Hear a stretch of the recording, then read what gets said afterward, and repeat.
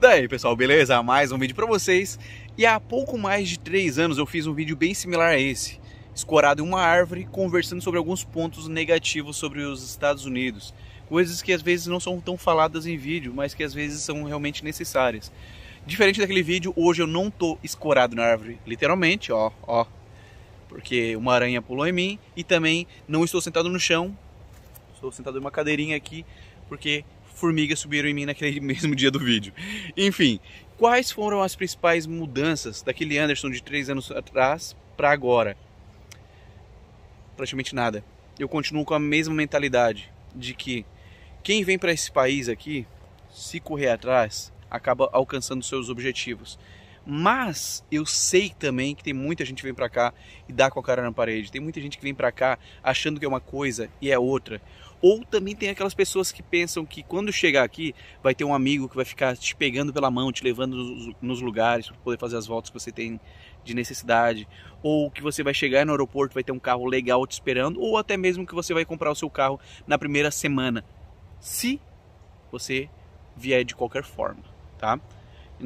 Como assim, Anderson? Então quer dizer que eu vou chegar nos Estados Unidos e não comprar meu carro? Sim, consegue comprar seu carro contanto que você use isso aqui, ó, cabeça. Eu sempre que falo sobre carros que são de fácil acesso aqui nos Estados Unidos e que muitas vezes são muito caros no Brasil, eu costumo dizer o quê?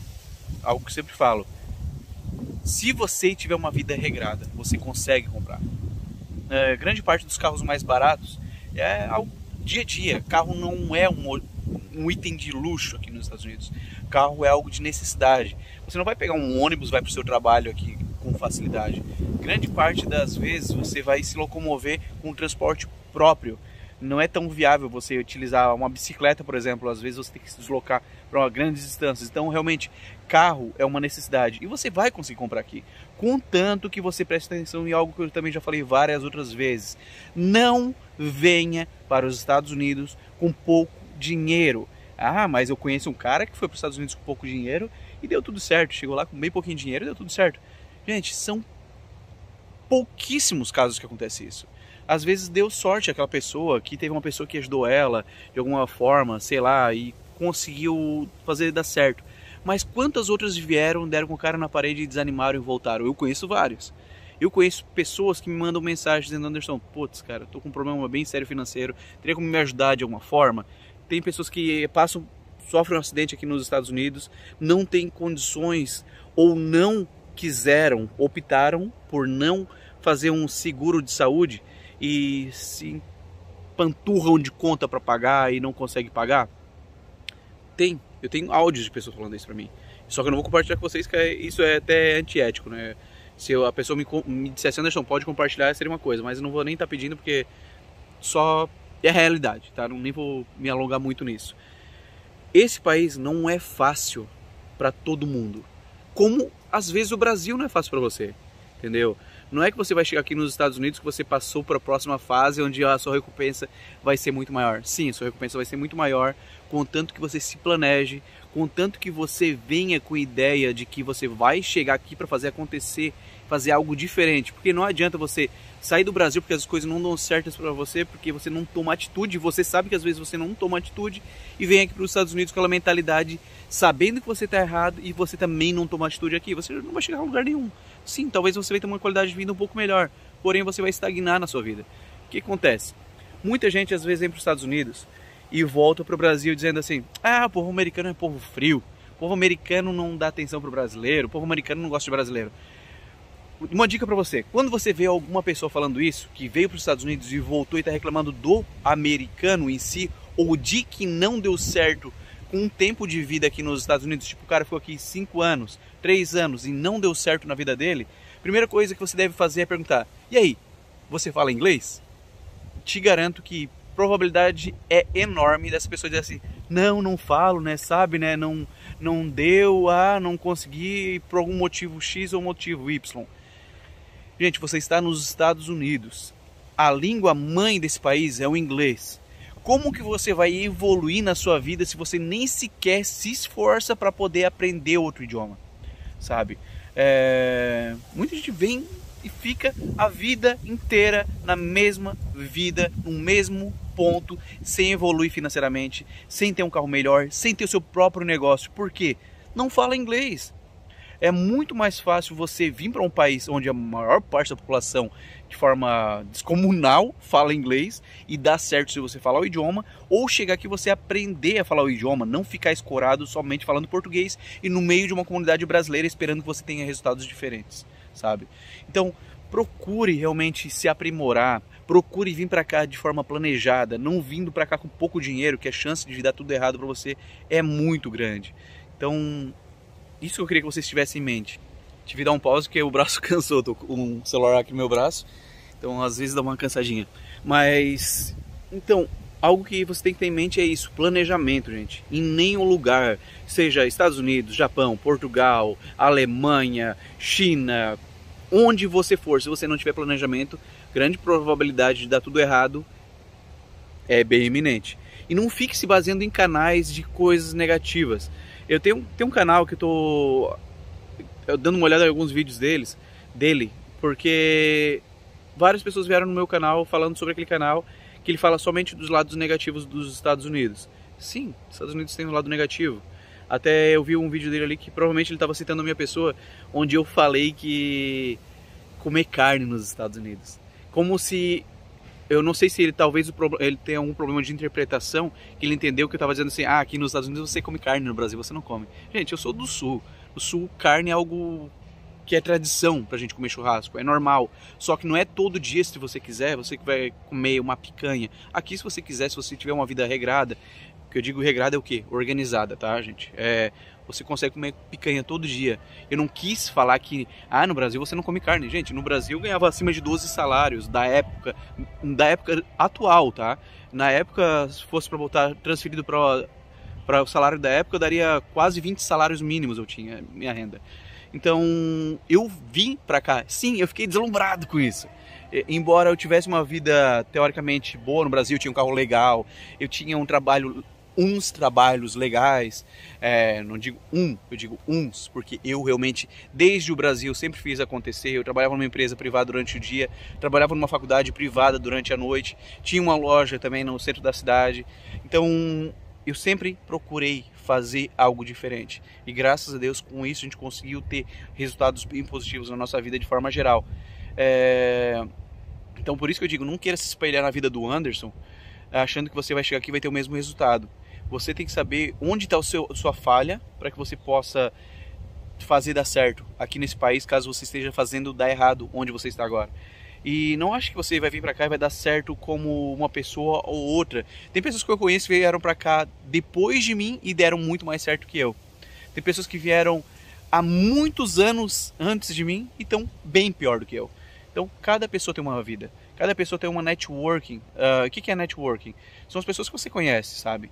Então, procure ter amizades, procure encontrar pessoas que possam te ajudar, não querendo sugar essas pessoas, é claro, mas pessoas que possam querer te, te dizer assim: poxa, cara, olha que legal essa ideia, esse negócio pode ser que dê certo, parece teu perfil, sabe?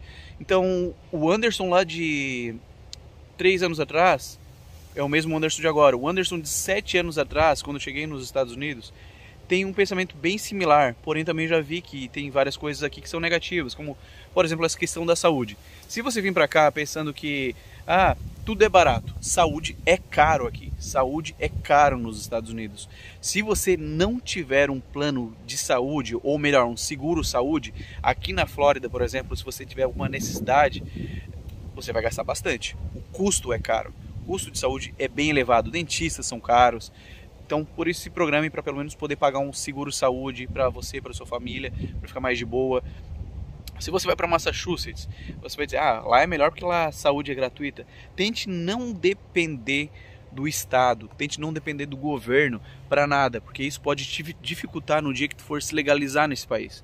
É, e vai ter gente aqui embaixo falando ainda também. Ah, mas tem gente que veio para aí, dependeu e hoje em dia tem um green card. Gente, há casos e casos, pessoas e pessoas, como várias outras também, que deu errado por causa disso. A lei é clara. Você, se você tem dependência desse país aqui, por exemplo, que está aqui com um estudante, olha só, eu vou deixar essa parte aqui bem lisinha para poder ver se o pessoal entende. Quando você vem para cá com um visto de estudos, por exemplo, uma das coisas que você tem que fazer é o quê? Comprovação de que você tem dinheiro para se manter no país sem depender de renda aqui no país, certo? Você é um estudante, você não tem permissão de trabalho. Então, teoricamente, você tem que comprovar, teoricamente e na prática, você tem que comprovar que você não depende do país para estar tá aqui hoje, certo?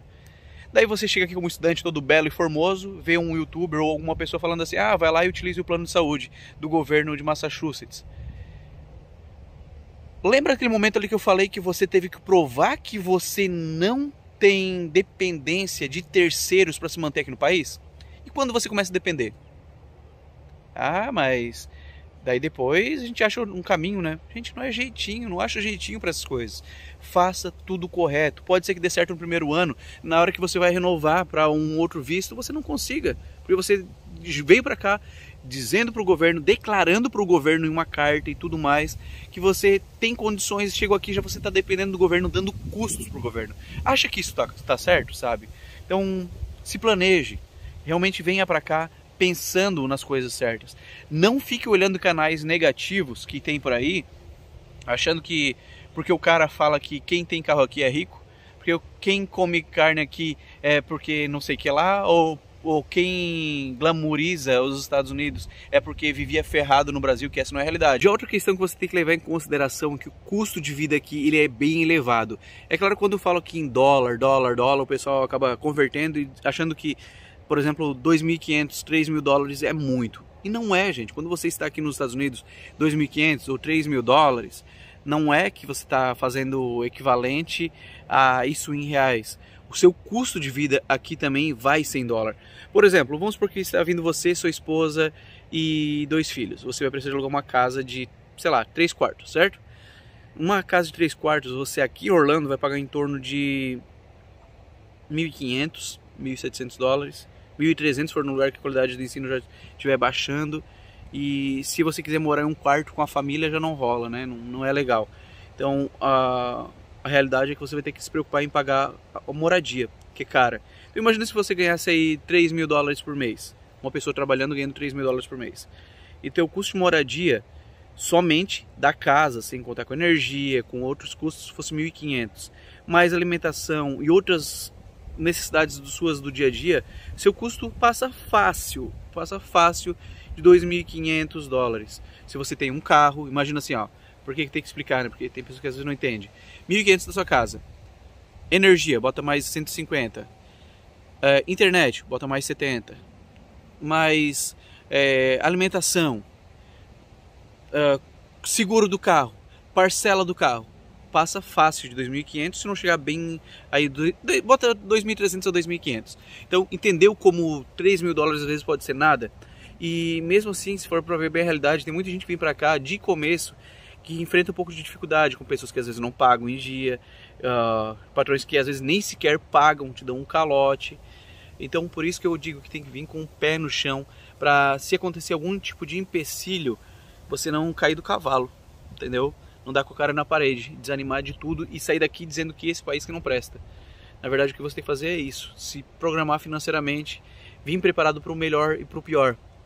Contando que muitas vezes o pior ele é, é uma fase inicial de muitos. Então já venha preparado meio que para o pior, a não ser que você venha bem preparado, bem estruturado financeiramente. Daí você vai. Essa parte do pior vai ser um pouquinho mais tranquila mas sempre você vai passar por uma dificuldade a mais, seja a barreira do idioma, seja a barreira de conhecer pessoas. É, até falando nessa questão de conhecer pessoas, um lugar muito bom para você que está chegando aqui nos Estados Unidos, de frequentar igrejas. Primeiro lugar, Deus sempre à frente de tudo, certo? Deus faz acontecer na nossa vida às vezes coisas que tu nunca imaginou. E não somente por isso, mas sim também pela questão de ter pessoas que vão estar tá tentando te ajudar, é claro que tenha sempre aquele, aquela balança de medir o que é certo e o que é errado, já que. Desculpa, tive que dar uma cortadinha aqui que me ligaram aqui no celular também. É, já que às vezes você vai se basear em pessoas da igreja, achando que aquela pessoa vai te ajudar e às vezes aquela pessoa está querendo simplesmente tirar algum tipo de proveito. Então também tenha esse tipo de discernimento em saber que não é porque a pessoa está na igreja que a pessoa é a melhor pessoa do mundo, entendeu? É, isso eu já vi vários casos, vários casos não só aqui, mas também no Brasil é o ser humano, é coisa normal do ser humano. Então, a princípio é isso que eu queria falar, é que aquele Anderson de três anos atrás continua o mesmo Anderson de agora, só com uma visão um pouco mais ampla, com mais conhecimento de mais pessoas. E é isso aí, se está pensando em vir para os Estados Unidos, pelo menos se programe, procure informações, isso é muito importante. Tente chegar aqui com os dois pés no chão. Não se baseie naquela ideia que eu falei de às vezes chegar aqui pensando que um amigo seu vai ficar te ajudando em tudo, porque às vezes seu amigo tem uma vida tão corrida que ele simplesmente foi amigável e te dizer assim, ó, oh, vou te ajudar em tudo. E às vezes ele não consegue porque ele tem que realmente cumprir o horário dele de trabalho e tudo mais. Então, venha com os dois pés no chão, venha com pelo menos uma estrutura financeira. Isso é bem importante, tá bom? Então é isso aí, espero que vocês tenham gostado desse vídeo. Não esqueça, se gostou, deixe seu like. Se inscreva se ainda não for inscrito. Em breve eu faço outro vídeo, só que um pouco mais bem organizado que esse, que esse eu simplesmente quis abrir a câmera e começar a falar um monte de coisa. Mas outro dia eu vou fazer um vídeo bem estruturado com tópicos, para que eu possa dizer para vocês vários pontos negativos e também vários pontos positivos aqui da terra do Tio Sam. Valeu, tamo junto e tchau, tchau!